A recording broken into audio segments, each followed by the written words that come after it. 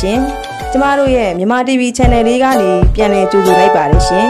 ကျမတို့ရဲ့ Channel လေးဟာဆိုရင်ဆယ်ဒီတို့ရဲ့သတင်းများအမှုပညာရှင်တို့၏အတွင်းရေးသတင်းများကိုတင်ဆက်ပေးနေတဲ့ Channel လေးဖြစ်ပါတယ်ရှင်ကျမတို့ရဲ့ channel လေးကို subscribe မလုပ်ရသေးဘူးဆိုရင် subscribe နှိပ်ပြီးအားပေးခဲ့ကြပါနော်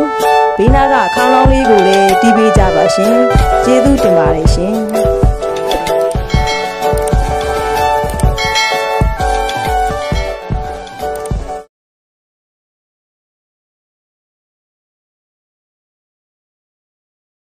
အားလုံးပဲမင်္ဂလာပါခင်ဗျာဆယ်လီချစ်ပရိသတ်ကြီးတို့ရေကျွန်တော်ဒီနေ့တင်ဆက်ပေးသွားခြင်းတဲ့အကြောင်းအရာလေးကတော့မိမရောက်သွားပြီလို့ပရိသတ်တွေကိုရုတ်တရက်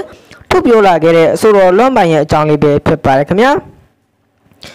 ချစ်ပရိသတ်ကြီးတို့ရေယနေ့လေးမှာတော့ပရိသတ်တွေရဲ့အိုက်တိုးဆိုတော်ကြီးဖြစ်တဲ့လွမ်းပိုင်ကတော့ပရိသတ်တွေကိုမိမရောက်သွားပြီကိုကြီးညာလာခဲ့တာပဲဖြစ်ပါတယ်ခင်ဗျာ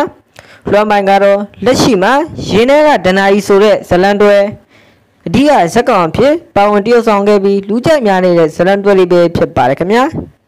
ရဲဝင်းဆိုတဲ့ဇက်ကောင်နေရာမှာပါဝင်တရုတ်ဆောင်ခဲ့ပြီးယနေ့ထုတ်လွှင့်ပြတဲ့ဇလန်အပိုက်မှာရဲဝင်းကချစ်သူဆရာဝန်မလေးနဲ့လက်ထပ်သွားပြီးမို့လွန်ပိုင်ရဲ့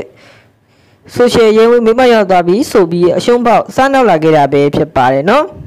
ချစ်ပိတ်တဲ့ကြီးတို့အတွက်ကျွန်တော်တင်ဆက်ပေးလိုက်ပါတယ်ခင်ဗျာ